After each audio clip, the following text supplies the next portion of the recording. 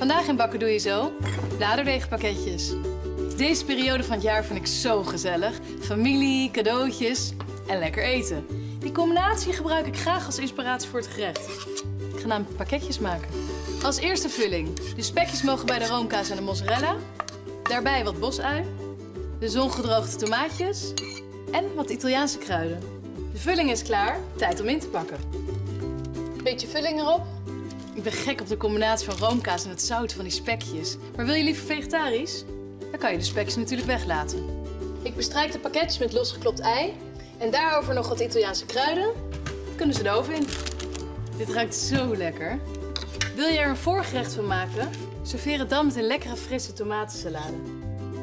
Kijk op bakkendoejezo.nl voor het hele recept en nog veel meer bakinspiratie. Veel plezier met bakken! Bakken doe je zo wordt mogelijk gemaakt door Bladerdeeg van Koopmans.